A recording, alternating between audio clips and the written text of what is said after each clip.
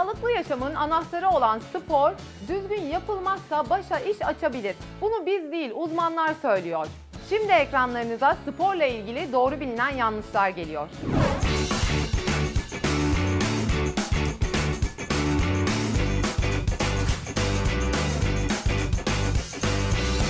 Şimdiye kadar birçok spor dalını denedik, uyguladık. Fakat bugünkü konumuz hepsinden çok farklı. Bakalım doğru bir şekilde spor yapabiliyor muyuz? Ya- yaptığımız yanlışlar neler? Spor eğitmeni Barış yanımda. Kendisinden tüm detayları öğreneceğiz.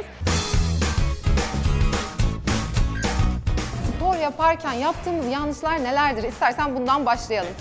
Ya aslında e, çok yanlış var ve hatalarımız var.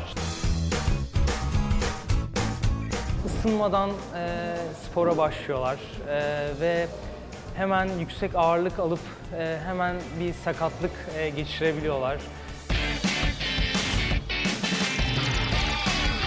Bir spor eğitmeniyle çalışmamızın aslında güzelliği de bu değil mi? Bizi Evet. doğru bir şekilde yönlendiriyor. Kesinlikle yani e, neye ihtiyacınız olduğunuza e, analiz yapıp e, sizi o şekilde çalıştırmak her zaman daha iyidir. Nelere dikkat etmemiz gerekiyor? Neler başımıza gelebilir? Yani inanın şu an e, 25 tane öğrenci çalışıyorum. Bunların 16'sını e, diz problemleri, sırt problemleri, bel problemleri, boyun e, çok fazla sakatlık e, var.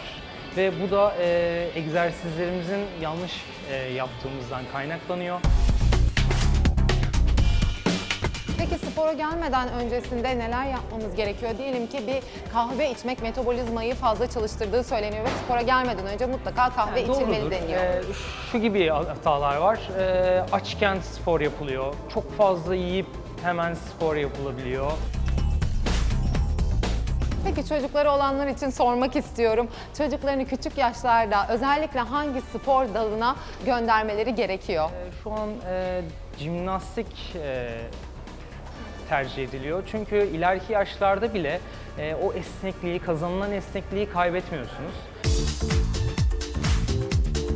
Çok fazla ağırlık çalışanlarla ilgili ne düşünüyorsun? Biliyorsun böyle etrafta üçgen vücut şeklinde geziyorlar. Bu da yanlış bir e, spor yapma şekli değil mi? Fazlaya kaçırma. Aslında o birazcık amaçla alakalı. Yani vücut geliştirmeciler var.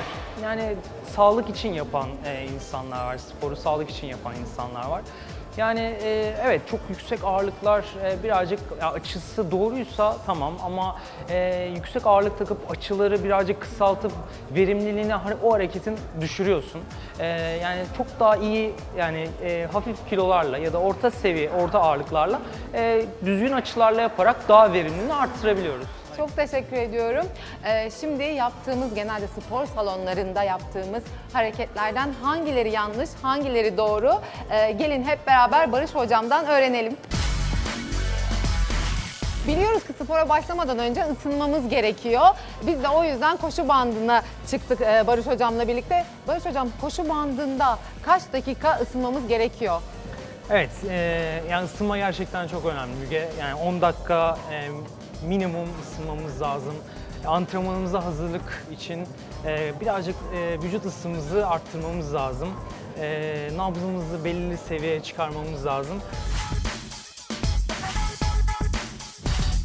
Ağırlık çalışırken özellikle nelere dikkat etmemiz gerekiyor? Öğreniyoruz. Evet. Şimdi yüksek ağırlıkla yanlış yapılan hareketler var. Mesela çok yüksek ağırlık. Hop omurgayı bükebiliyoruz. Hafif bele ağırlık geliyor. Bu şekilde birazcık e, bele yük verdiği için belde sıkıntılar yaşayabiliyoruz. Doğrusu nasıl olmalı? Yani doğrusu hafif kilolarla, doğru açılarda, omuzlar yeride. Hop hiç omurgayı bozmadan kontrol bir şekilde tam açılarla çalışabilirsiniz. Hareket tam olarak vücudumuzda hangi işe yarıyordu? Sırt kasları çalışıyor. Sırt kasları çalışıyor.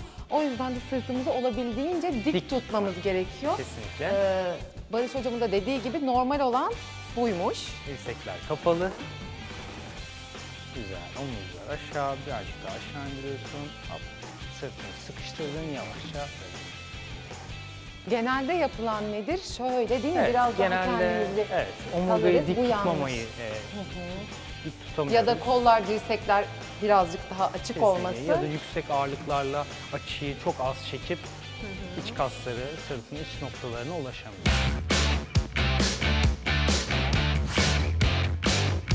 Özellikle ağırlık çalışırken yine yaptığımız yanlışlardan bir diğeri de Yine sırt egzersizleri yaparken evet omurganın pozisyonu.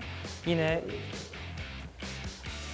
hareketi yanlış yapılırken omurga hop yine yuvarlak, kambur şeklinde durulup yapılabiliyor. Hareketin doğrusu omuzların geride, hop omurga dik, dirseklerine yine sıkıştırabiliyorsun. Hocam teşekkür ediyorum. Süpersin.